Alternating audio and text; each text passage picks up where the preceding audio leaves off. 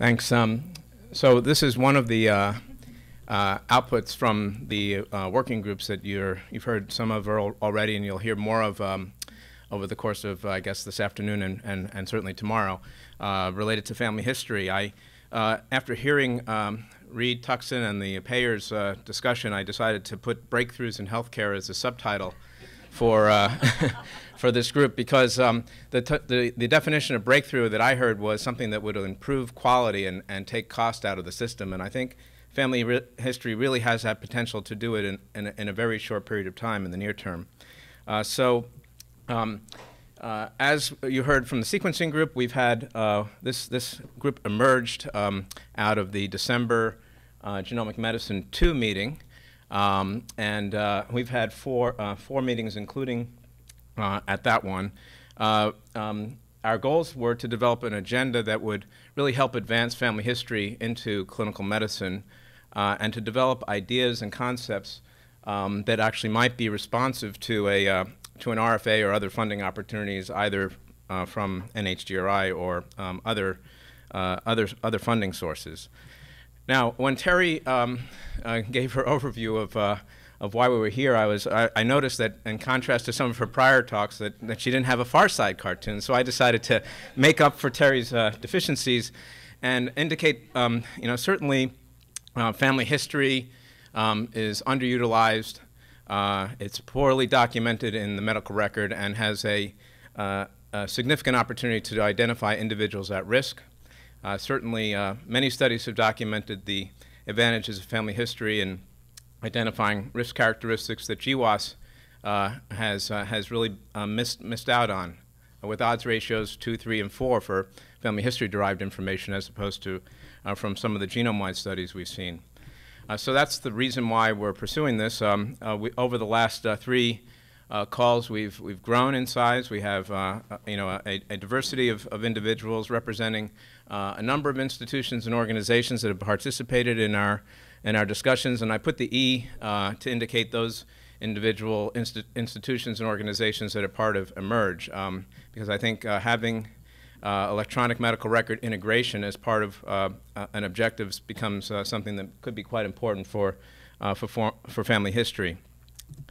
So as you heard earlier, I think from Rex, that um, we came out of the December meeting um, with a, an interesting and diverse list of, of topics uh, that, uh, to develop a outcomes research agenda um, linked to family history implementation um, and to really to use the principles of implementation science to understand how one might put family history into the, into the clinical workflow in a number of uh, diverse clinical environments.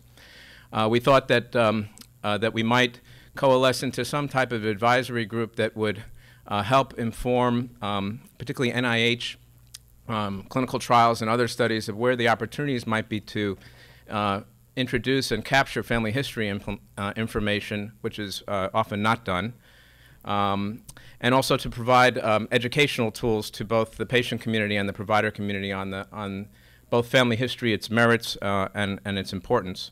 Um, as you'll hear, we, uh, we also uh, have spent some time thinking about how to explore um, electronic media, particularly social um, networking media, to help patients gather family history in the community. Um, and also, how do we validate family history was became uh, an important question. Patient, particularly patient-reported information, how, how valid is that? And I think the, uh, an ideal goal, um, aspirational goal, is to take family history data, molecular data, clinical data, and build the ultimate risk model. And so as we thought about these over the last several calls, the red uh, indicate where we've really prioritized our efforts, uh, at least as, uh, up, up, until today.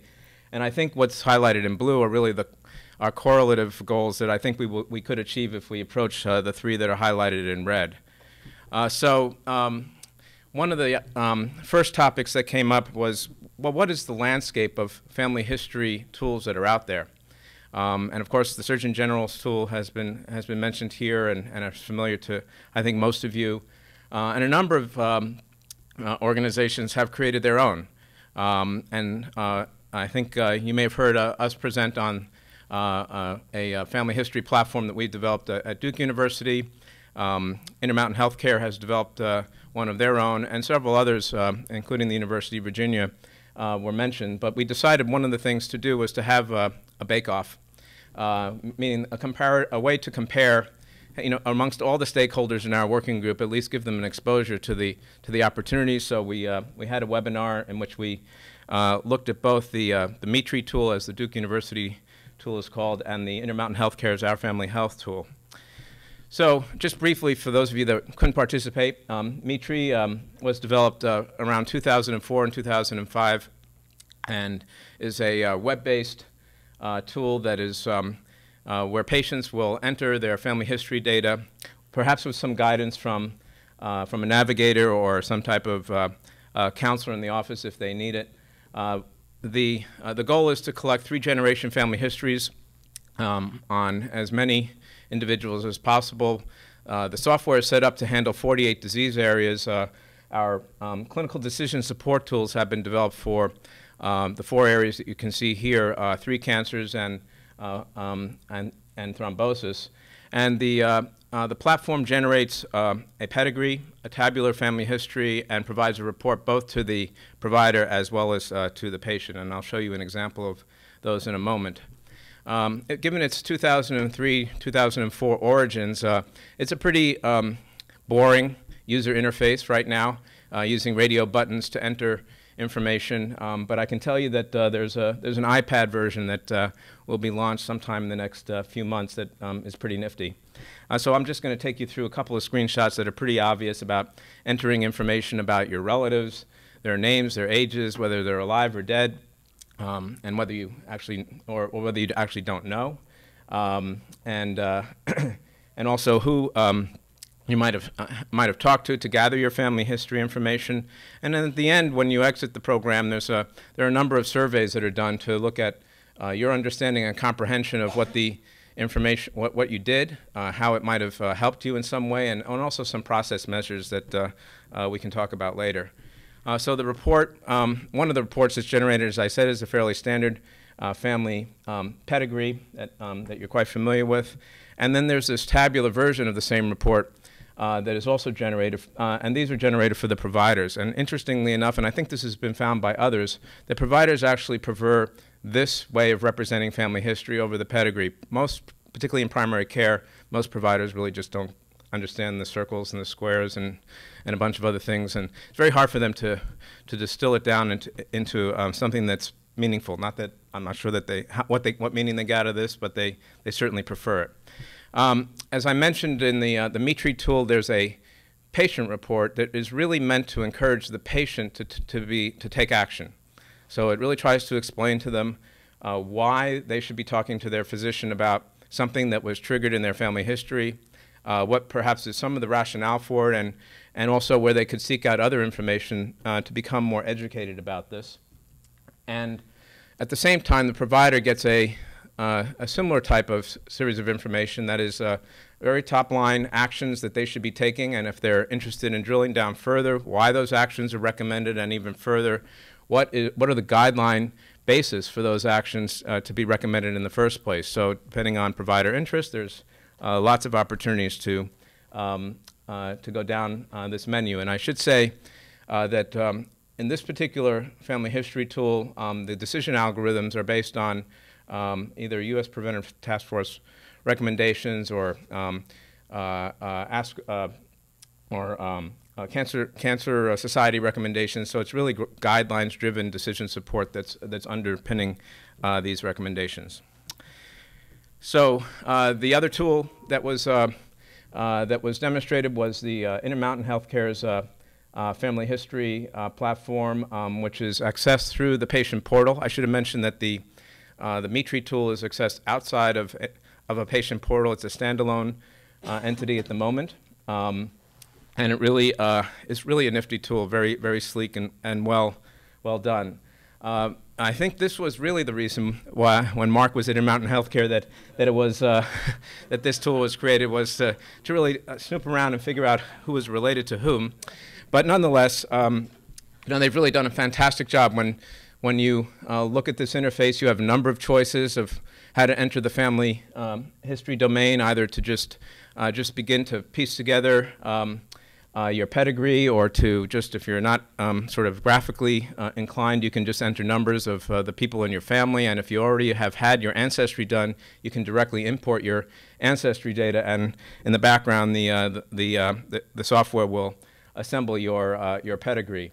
And there's a lot of nifty dra drag and drop opportunities with these icons. The proband is right here in this diagram, and you can begin to add um, many, many relatives, probably more than you probably want to have in your family, to this, uh, uh, to this uh, uh display. And this is actually Grant Wood's uh, family. He was very clear that, he, that this is okay to disclose uh, his, his, his, his family tree. I don't know if the information is actually correct. So you get this nice display of, of a pedigree. It's available through the portal. It's also on display for you and for your provider. And you can import other information about your, uh, about your health, um, other conditions you might have. And there's a, on the, on the right-hand side, you can see there's a searchable, um, there's a searchable uh, feature in there where you can actually look for syndromes that you've been told you might have or your family might have and, and document th those as well. So at the end of the day, not only do you get a nice pedigree, but you also get this, all, this, um, uh, this sort of um, uh, file, uh, uh, this, this file type of report that, again, even in the, uh, in the Intermountain healthcare system is, seems to be um, preferred way of displaying family history to the, uh, to the pedigree illustration. And if we look at these two um, software platforms side by side, um, in many respects they compare quite well. Um, the, the, information is patient entered from both, uh, is web accessible, um, either at a kiosk in the in the waiting room or uh, at home. Um, a number of the informatics elements are, are in place for both. Um, the, uh, the MeTree tool, I think, uh, has um, embedded in it algorithms that lead uh, ultimately to a decision support mechanism that is, uh, I think, quite attractive, and I think that's, that's generally what we're all looking for. but the, the Intermountain Healthcare tool is not that far behind a number of, a lot of the work that's going on right now um, with our family health is uh, implementing the algorithms and developing the CDS tools that will enable it to also function in that way within the Intermountain healthcare system and perhaps others. Uh, so at least in, uh, we were able to accomplish one goal of really beginning to compare and contrast uh, what types of um, uh, platforms uh, and, and, and, and, characteristics they have um, and begin to think about which ones we might implement in a future research project. So um, in the last uh, uh, teleconference our group had, we, we began to kick around, uh, what, so what are the ideas? What are the things that we really want to push forward um, as, as opportunities? Uh, so one, and I think this came from a number of the um, groups that were using EPIC um, and potentially uh, other um, uh, electronic health records, was to really think about how, how would this integration occur um, how does uh, do you integrate family history collection, um, software, and decision support into um, existing electronic health records that are also being developed and implemented across many healthcare delivery systems today? Um, and possibly to do this in the context of an SS STTR um, or uh, SBIR type of uh, mechanism um, with EPIC or perhaps Cerner or others. But the, the uh, I think you can see this list of, of really critical questions that uh, need to be addressed uh, for this to happen um, about standardization of the information, both on the input side and the output side. Also thinking about what are the information gaps uh, and the workflow gaps that need to be addressed for this to happen uh, seamlessly. So really critically looking at that, um, uh, that information flow pathway and how it occurs in the context of real world clinic visits and making sure that the information is captured and delivered at the right time points to be most effective. Uh, I mentioned the validation of the information that's collected from the, uh, from the patients um, and uh, the idea that, uh, of the possibility of bringing in other applications like MeTree, for example, that is a third-party tool, and how does that interface? How do we create uh, the notion of interoperability be between these uh, possibly, and making the family history readable in the electronic medical record all seem to be reasonable um, uh, things to be investigating with some of the um, producers of electronic medical records. Um, I think it was uh, Mark, and I'm also a friend of Mark's, uh, that um, uh, made the recommendation that uh, that there's a there is this series there's this group that is um, outside of what we're doing here um, is has developed clinical decision support tools and a clinical decision support sim, uh, uh, consortium has, has developed that uh, would, would be great to link to that, as well as to make this open, make anything that we're talking about open source so that um, many different systems can take the software and modify it to meet their needs and integrate it into their local environments, which I think are very reasonable things to be considering as well. So this was um, idea number one. Um, idea number two, um, which really uh, came from Jonas Almeida, I hope I'm pronouncing your name correctly, Almeida, at uh, University of Al Alabama, um, is really to um, take um, the social networking uh, media that we have today Facebook type of applications and, and the sort as a, as a way and an opportunity to capture family, uh, family health history data. Um, and so uh, visiting um, both, uh, you can see at the bottom of the slide, some of you, that there's a, uh, there's a website uh, for a YouTube video uh, that Jonas made to, to demonstrate this concept, at least some of the early phases of the development of the, of the, mostly the informatics mechanics to allow this to happen. Um, so the API has been established. Um, there's, a, there's a prototype. Uh, it uses the cloud in ways that I could not describe to you, but maybe Jonas can. Um, and it really allows the patient and their families to capture uh, the information uh, in, in, a, in, a, diverse and, and, effective way. At least that's the goal, to use the Surgeon General's tool as at least one of the ways to do this in a standardized way. Um, so, um, Jonas, I, if you have a second, do, do you want to elaborate on, on what I said because I'm sure I didn't do it justice. Sure. Uh, so the, the social media world has been developing and maturing, and now we actually have something we call social computing. So there, there is an infrastructure we can use in our applications, and family history is a natural fit, or, or genomic history for that matter, it's a natural fit to this sort of architecture. So the, for, for those who, who, like these technical details, it's called open authentication. There was a first version that was very awkward. We explored last time we met.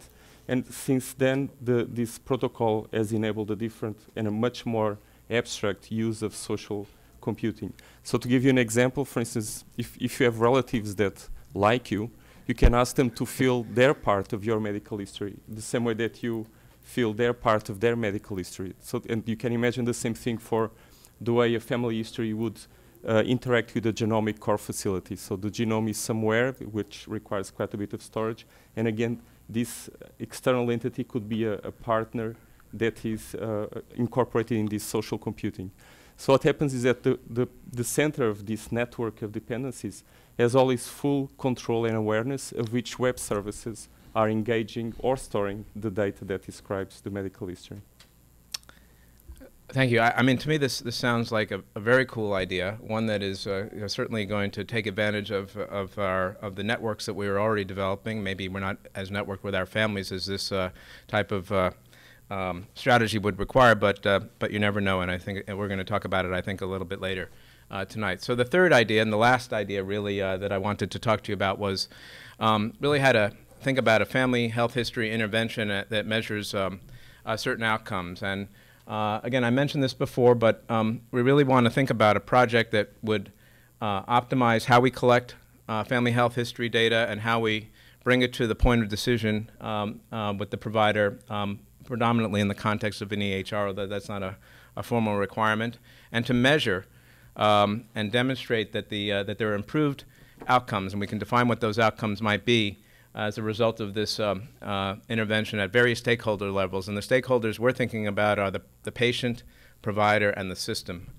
Uh, so um, we talked about a number of potential uh, environments in which this could take place, and primary care was certainly um, uh, uh, top on, uh, on, on our list. but one, one interesting idea was also to think about how family health, ha how family health history might actually um, influence decision making in emergency room, uh, in an emergency department uh, situation, um, particularly in the context, for example, of, uh, of whether somebody might be having a thromboembolic event or a myocardial infarction or something of, the, of that nature. So there's, there's a lot of more discussion to think about, but that would be a pretty interesting and unusual area to explore. The notion of uh, bringing it to um, other, um, other environments such as rural practices, uh, underserved um, um, environments as well. And even to, the, uh, to, to help the next generation of physicians really learn the value of family health history to bring it to the practices where residents uh, uh, and interns and, and other um, uh, providers are being trained. And to do it in the sense of to understand whether this is really working in the real world. Um, does the intervention work under usual conditions? I think is the question that was that was asked, and the kind of study design uh, that we had uh, envisioned was something that um, is called a pragmatic cluster randomized trial. The idea being that, um, first of all, pragmatic, meaning it's, it's in the usual care environment, clustered, meaning that some practice environments might have access to the intervention and others would not. That would be called usual care. And do that in some kind of randomized fashion that we can uh, discuss later. And while we were discussing this, this paper came out, um, which was, I think, if I'm not mistaken, I'm, i could be wrong, the first publication of any outcomes research on family history. I don't know if, if, anybody wants to differ with that statement. But this came from Nadim Qureshi at uh, the University of Nottingham. Um, and what they had done was uh, essentially what we were talking about at the same time a pragmatic um, cluster randomized trial um, of 24 primary care practices that received uh, family health history in information about cardiovascular disease. And the goal was to determine whether they could identify individuals at risk for cardiovascular disease more so using the family health history intervention uh, compared to the usual practices of the providers in those groups. So the salient features of that was, as I said, the, the trial design, about 750 individuals, none of whom had previously diagnosed cardiovascular disease. It was done in 24 primary care practices. This was not an electronic intervention. It was all done on paper. Um, and they found 4.3% compared to 0.3% having risk of cardiovascular disease in this study, which means if you, a typical primary care doc might see 10,000, or, primary care doc might see 10,000 patients a year, or even a practice might see 10,000 patients a year. But nonetheless, that means 500 patients were identified out of that 10,000 that otherwise would not have been uh, using the family health care, um, family health history intervention which is a, not, a, non, a non-trivial amount when you think about it in those terms. But they hadn't, they didn't take it the next step. Um, they didn't follow these patients long enough, of course, to see whether um, those individuals, if they had an intervention in response to their risk factors, had any changes in outcomes. Of course, that would take quite a long time for this disease. So, but this was really an important proof of concept that this could be done for us. And I think uh, it really paves the way for, uh, for studies like this across the breadth of um, topics that we've uh, been talking about today, I think. So um, uh, what we have been thinking about, this is a very busy slide, but I've just kind of call your attention just to the center part, the colored part, which is just, uh, you know, it's just a schematic of what a uh, family health um, history intervention trial might look like, um, collecting uh, information at the outset as well as educating uh, patients, all done via the internet or web-based uh, uh, um, web-based design using MeTree or um, other family health history uh, intervention tools that provide a risk assessment clinical decision support so that at the time that the patient is actually interacting with their provider, it's not about what is the information, it's about what the treatment plan, what the actions are. So it really, um, really jumpstarts the ability to do this without a lot of the um, uh, cost of the interaction that takes place right now if you do a family history at the time of the visit. And you could either go into, uh, if you're not at risk, have uh, routine screening, whatever that is. Um, if you're at higher risk, you might have uh, a, uh, prevention strategy implemented or, or a screening strategy that could include uh, uh, genetic measures or other measures. And as the, the boxes that you find hard to read here really are about some of the outcome measures and information, both on the process side as well as on the, on the, um, on the clinical side, uh, process measures as well as clinical outcomes that would be ascertained throughout this process, throughout this workflow. And uh, again, this is also uh, probably too much information for, the, for you to really read on this slide, but as I mentioned at the outset, um, this type of trial would really seek to look at uh, patient, provider, and systems measures. And if you think about it, most of the um, academic types of studies that we do um, are really focused on the clinical measures in the patient. But um, as we heard from the payers and others, maybe there are other things we want to measure that have nothing really or very little to do with those clinical measures. Maybe it's um, the financial metrics of the system, or whether we're really retaining our doctors because they're much more satisfied with the way that they interact with patients.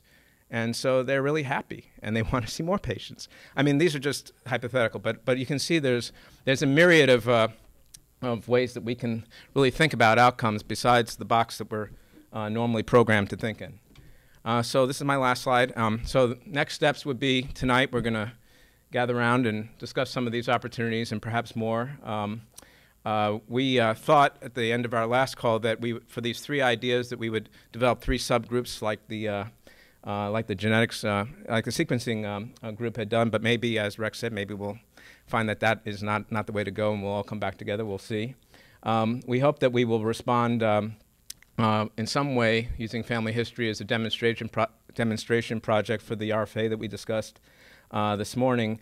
And we should really think about how to link this to some of the other working groups. Um, as uh, uh um, the, uh, you know, certainly to the sequencing working group makes a lot of sense. And as uh, Maren and I were discussing earlier today, um, putting um, sequence information in the context of family history could be quite powerful and really be informative about how to narrow the scope of where you should really be looking in the genome as opposed to looking at everything, which I think was a topic that we've discussed at uh, several points during the course of the day. And then hopefully we can get uh, some feedback and advice from all of you and our invited guests, uh, the other stakeholders. Thank you. Um, Gene, and then Mark. Do you have data on the two instruments as to the completeness of ascertainment across socioeconomic class, educational uh, achievement, absent fathers, that sort of stuff? Um, I can't speak to the Intermountain Healthcare uh, tool on that um, for the for the for the Duke uh, uh system. Um, we have had um, uh, a diversity of socioeconomic groups and educational groups use this intervention uh, with a high degree of success in capturing the information. Whether it's accurate or not still remains to be seen. But I don't think that we've, I think we still are fairly in a narrow scope. We, we would hope to explore that in broader populations going forward. And one follow on, um, as I mentioned to you earlier, I, I wonder if there is a way of um, finding out how one can really identify families that you need to look into, um, sort of a cage um, approach to whether you should take a family history, a complete family history. I mean, what's the trigger? Well, you know, why would you do this in the first place? And are there a subset of people that we should be really fo focusing on versus all comers? And I don't know if uh, Maren or Mark or other people that have spent more time in family history than I have uh, have uh, want to address that.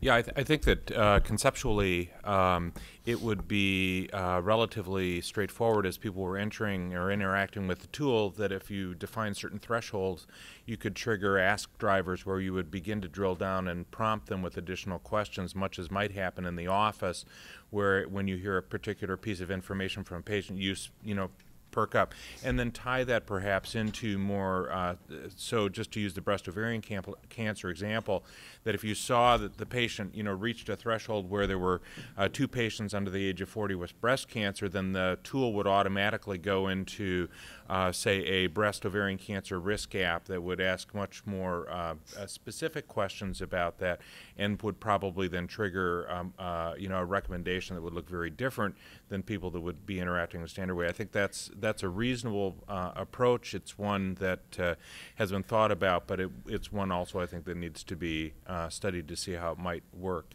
I wanted to, to just come back to the Qureshi study for to make two quick points. One is is that even though the study was not intended to nor was powered to detect any differences, they did find that in the intervention group there was a statistically significant uh, difference uh, in patients who either ceased smoking or reduced smoking, um, even in the relatively small numbers at a uh, 0.001 level, and that there was actually increased aspirin compliance based on the risk, and it tracked with the risk that they were presented. So they actually did detect some at least secondary outcome measures that have chains of evidence to the primary outcome of uh, incident cardiovascular disease, which was quite interesting.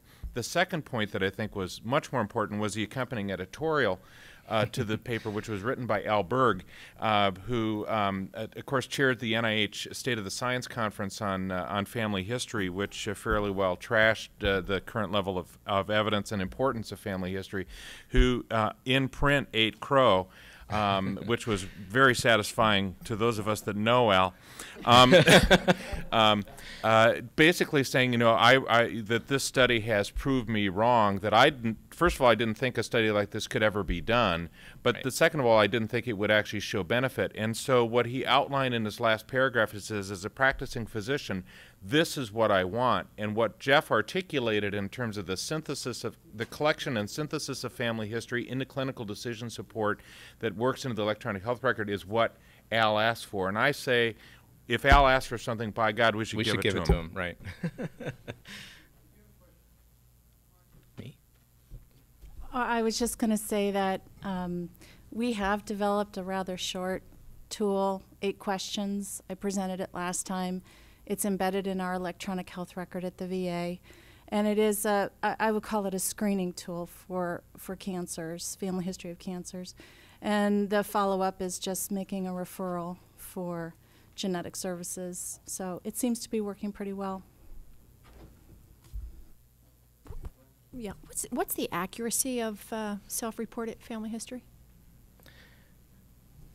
Um, it depends on the disease, um, and there's not uh, great data on that. Um, for uh, things like diabetes, uh, heart disease, um, it's actually, in the studies that have been done, it's pretty good. Um, uh, for things like mental illness uh, and in particular substance abuse, as you might expect, it tends to fall off. Now, that being said, I think it's also important to recognize that all the risk classifications that have been developed have been based on self-reported family history. So the, the we're dealing with the usual empiric risk that we're getting out of that. So in some sense, if we have validated family history, we're going to have to redo all our risk estimates because they're all off. Um, and we've actually done that in uh, colorectal cancer utilizing uh, the Utah Population Database, which actually shows that in colorectal cancer, the um, the risk estimates that are in use are, are reasonably good, uh, empiric compared to the actual validated cases.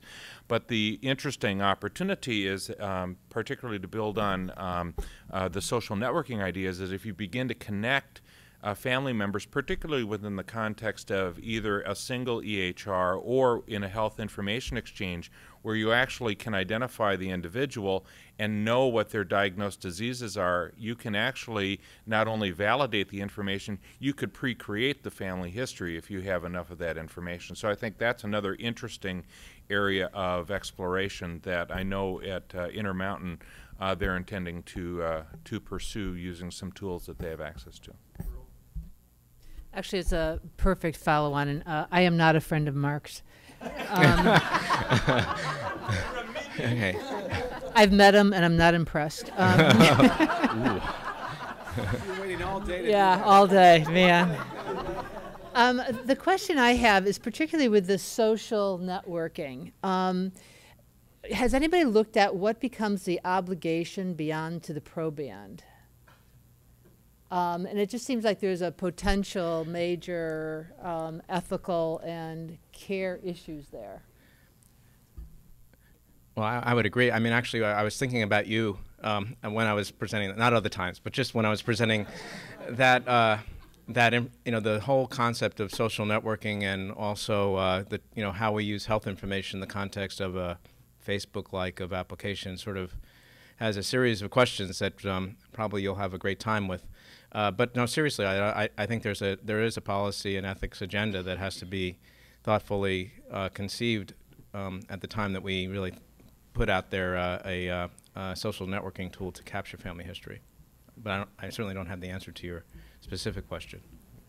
Or So- do you want, Yes, uh, just a few words. So I also don't have an answer to your question. The, the good news is that the way we treat governance is now being object of mathematical treatment, and people publish papers with mathematical descriptions of these dependencies, obligations, and what's called um, instantiations of user operators. So the relationship between a user or usage and the data entity.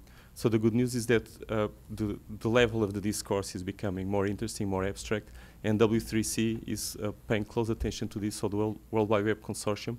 So there are web standards that are emerging to address these issues. Did you have a, a question or? Yeah, Geoff, I had a question about um, linking up with EPIC.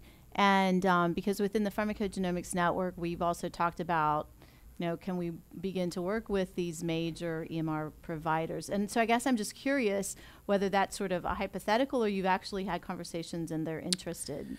Uh, sorry. Uh, no, uh, this is this was an idea that was raised um, just a few weeks ago on our last call by Cathy McCarty. Um, I don't know whether she's had uh, specific conversations on that. Um, Rex, did you have you? I mean, well, or I, I others can that are working yeah, yeah. the So Epic? the eMERGE Network had um, not only uh, Cerner, but uh, not only Epic, but also Cerner and GE uh, at a steering committee meeting three times ago or something, uh, trying to engage uh, them. And then I know that um, some folks from Northwestern and I think uh, some folks from Mount Sinai uh, have been very actively involved with their genomics working group uh, in terms of moving forward. And there was just a meeting last week uh, in terms of actually thinking about putting data into the electronic health record. So there's already something of a relationship. And the thing that's really going to change the landscape there is um, the meaningful use phase two criteria, which actually uh, articulates that one of the meaningful use goals will be representation of family history in the electronic health record. And really, the vendor community right now is wholly consumed with creating products that are going to be able to hit the meaningful use uh, category so that people can get reimbursed for implementation, meaningful implementation of electronic health records. And so um, if that uh, persists in phase two, we'll have a much better um, a way to engage with the vendor community on this. Okay, so Erwin and Kate. Kate and Erwin. Kate. Yeah, I, I just wanted to comment on the EPIC question. And as Rex pointed out, uh, we at Mount Sinai and folks at Northwestern have been actively engaged with EPIC. And, uh, you know, from our experience, uh, they're very receptive to developing custom uh, connections with some external tools. I think that's a very feasible uh, proposition. Uh, with uh, you know some payments that you make to them uh, that are not excessive, but uh, certainly it is it is feasible, and certainly we've gone that path. That is uh, certainly I think a worthwhile uh, investment, and I think you know that's something to consider. But the uh, the, the the the danger here is that um, uh, if each if there's a number of modifications to something like an Epic tool over time, it becomes a unique tool to whatever system it's being used in, and it is, doesn't communicate across networks like we're trying to do. So, so I my I guess my plea is that we try to have this as a coordinated conversation, and I think as customers of Epic, we probably are a powerful force and could actually negotiate well. I'm also not sure if they qualify as a small business. oh, I think that's why it would be an STS, STTR. So, so as an Epic user, I actually pulled up the family history tool in Epic while you were talking because I can access it from here, obviously. Uh, it doesn't actually look. I, I'm. I actually would like a little clarification of how you would work with them be, to improve their family history tool because it's actually very similar to what you're presenting. Certainly, that's coming out in the sort of tabular form. Um, if you look at it, and so I was actually unclear as to what you were proposing with Epic. Yeah, let me, uh, I'll just make, well, uh, the specifics of the EPIC uh, proposal um, are really to um, think about uh, what's missing. Um, you know, so you just took a snapshot of it, but I think um, we might really want to consider in different practice environments, uh, different disease areas to try, to try to understand what the gaps are and help fill in those gaps so we have something that we all uh, at least have a consensus is the right um, information to collect. And of course, what Epic doesn't do now is provide the decision support um, downstream of the collection, which is something that I think is desperately needed for these for the information to be used. And the collection tool only allows you enter one brother, one sister, one grandparent. Uh, and it doesn't define sides of family, and there's an infinite number of deficiencies in that particular web form, and the number of diseases that are represented as structured data elements is very, very small. So it the the the improvement, uh, the improvement needs to be uh, uh, start over. I think sense we'll the hook on. coming. Well,